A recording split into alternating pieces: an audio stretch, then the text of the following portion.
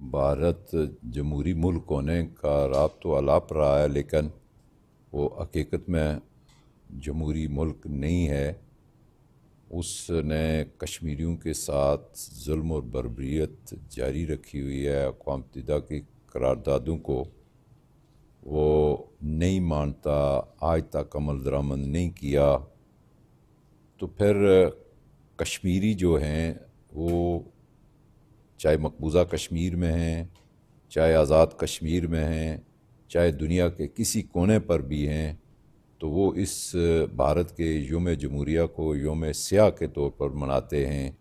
वो इसलिए कि भारत की स्याहकारियाँ जो है, वो दुनिया पर आयाँ हो चुकी हैं कि वो मकबूजा कश्मीर में हमारे कश्मीरी भाइयों के साथ जो जुल्म और ज़्यादती जुल्म और जबर रखा हुआ है।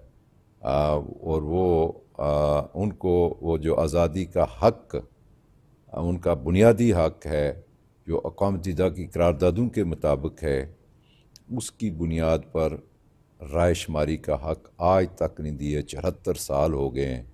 तो मैं ये कैसे मान जाऊँ कि वो मुल्क जमहूरीत जमहूरी मुल्क कहला सकता है?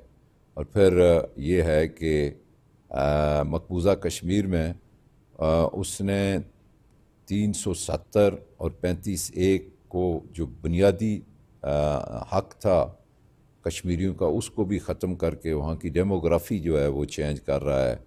हर हरबा वो अख्तियार कर रहा है। नौ लाख फ़ौज उसने आ, कश्मीर में रखी हुई है।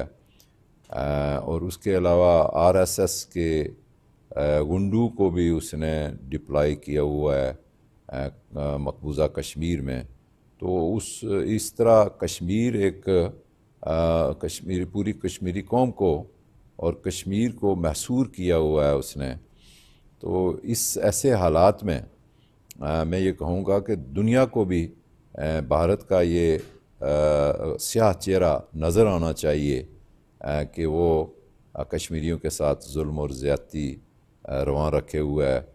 तो इस पर मैं ये कहूँगा कि कश्मीरी जहाँ कहीं भी हैं, वो पूरी कुत से भारत का ये जो योम जमहूरिया है, उसको योम स्याह के तौर पर मनाएँ, ताकि भारत को अपना असल चेहरा दुनिया को दिखाने में हम कामयाब हों।